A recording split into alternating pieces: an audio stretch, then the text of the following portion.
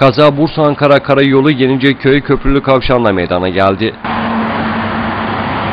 Köprülü Kavşak'tan İnegöl istikametine doğru ana yola inmeye çalışan Göksel Demir İdaresi'ndeki 16 KRL 10 plakalı özel otomobile arkadan gelen Kubilay Hallı yönetimindeki 16 LDM 50 plakalı araç çarptı.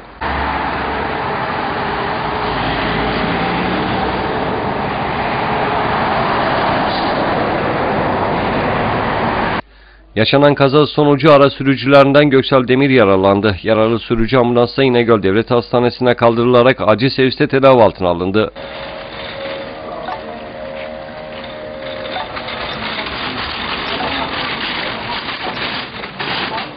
Kazayla ilgili tahkikat ise sürüyor.